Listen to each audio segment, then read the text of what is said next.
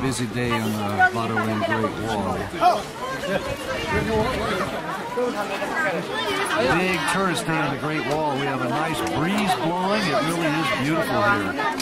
Tourists come from all over, not just all over China, all over the world to see this. I think this is one of the uh, eight wonders of the world.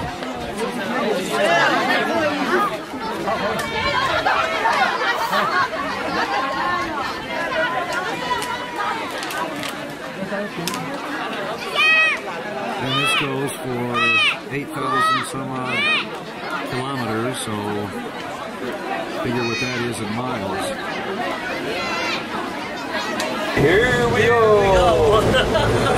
Oh, Now swing away. Good grief. Ooh, it is. Ooh, long way down. All right, there's some of the Great Wall right there.